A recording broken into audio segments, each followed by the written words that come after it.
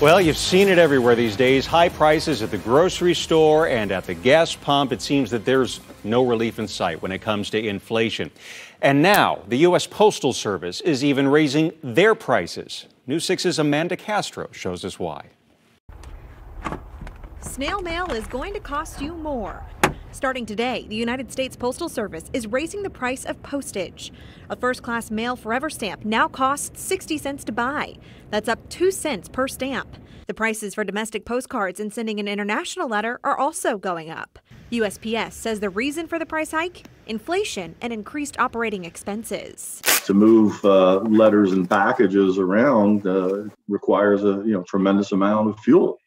Uh, and so, you know, filling up all those tractor trailers and and uh, you know, mail, mail trucks and uh, planes to, to to move these uh, parcels and letters around uh, has gotten extremely expensive uh, with the price of gas and diesel fuel. Dr. Sean Snaith is the director of economic forecasting at UCF's College of Business.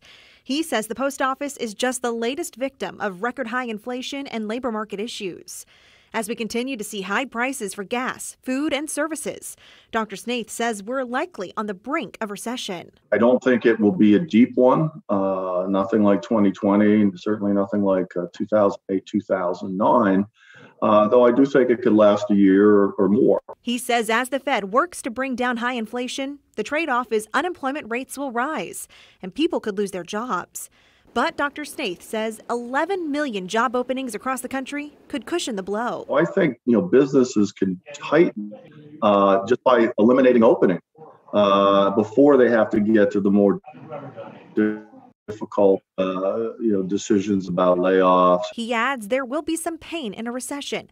But it's the price we have to pay to restore the economy. In some ways, this will be the bitter medicine that's going to cure some of these economic ailments that, that we've been facing, like high inflation, high uh, gasoline prices, labor market issues, the supply chain uh, will be able to heal uh, as the economy goes into this recession and slows down. Amanda Castro getting results, News 6.